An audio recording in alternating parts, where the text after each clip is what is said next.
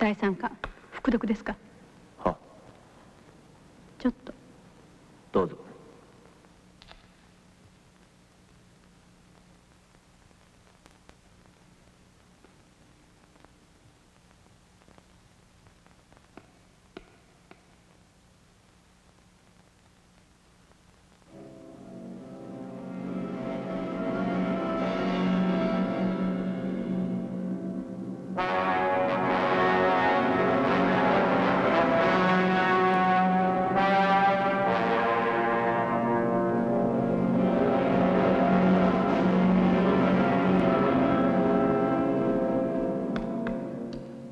これは人間の腹部の皮膚を剥いで作ったものだわ。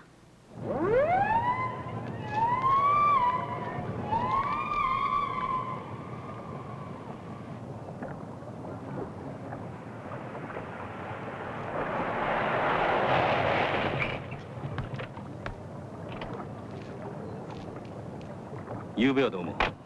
2月食らうとは思いませんでした。おかげで奥の虫歯がまだうずきますよ。手加減したんだがね賭馬券は射殺の上ここに運ばれて投げ込まれたようです。32口径2発心臓をぶち抜いています。射殺現場未確認です。売人としちゃ本物ですかね。我々にマークされたんで消されたんでしょう。うん。A から D へ A から D へどう思うんだ？第三巻が死んだわ。何？警視庁の中でか？そう副読麻薬王にしちゃ必要なことだマスクをかぶった偽物はいつも本物の犠牲になるのよ。どうもなるほど。そういうことか。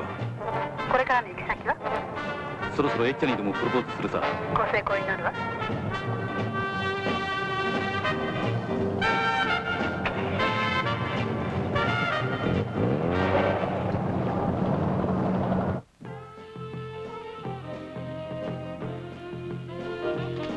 らっしゃいませ。いらっしゃいませ。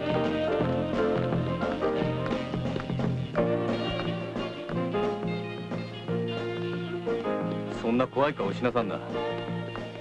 今夜飲みに来たんだ。ママのご存知の方？紹介してよ。知らないわ。ママはいつもこうなんだ。よ君可愛い子だね。エツコって言うんです。よろしく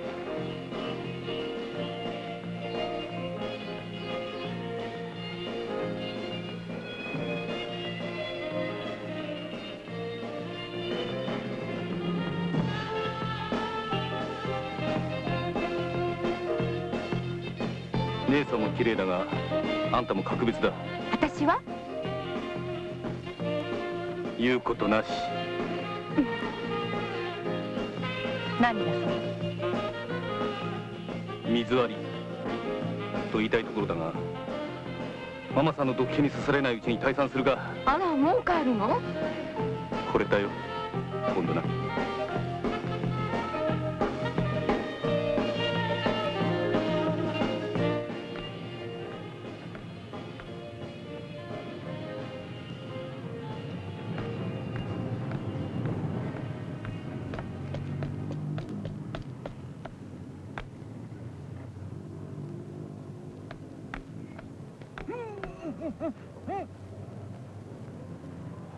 バカなことするな。早く帰れ。えっちゃんにいい格好見せる時はまたあるさ。な。先に二人後から一人入りました。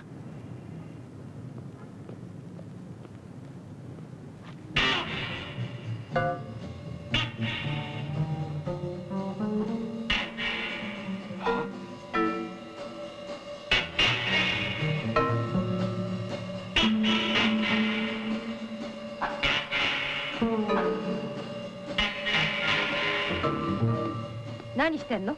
こんなところで。うん？あんたえっちゃんの？ボーイフレンドです。純ちゃん。あ困るじゃないお店の前うろうろしちゃん。さあ帰って。じゃあそんなわけなもんで失礼します。どうも。すいません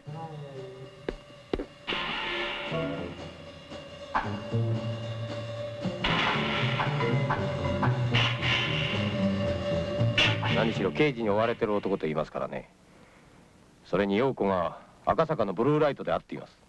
薬の売買には最近アメリカカナダメキシコの客を抱えた一匹狼がいるとは聞いていたが。きっとあの男だわ。奴には賭馬犬や常松が無様な目に遭っている。相当腕が立つようです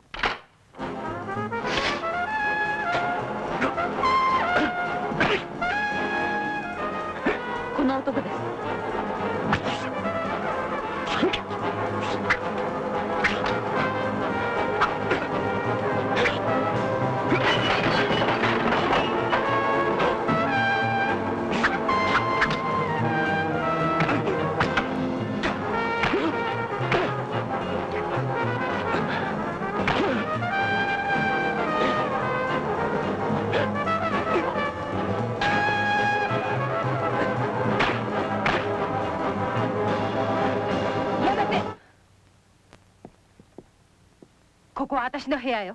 乱暴はしないでちょうだい。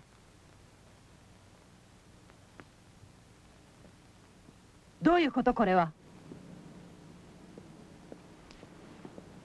今あんたのことをこの人に話してたとこよ。君が成美三郎という男か。腕が立つな。しかしどうして窓から？こうでもしないとなかなかあんたに会えないからな実はお前さんたちの力を借りたいことがあるんだ。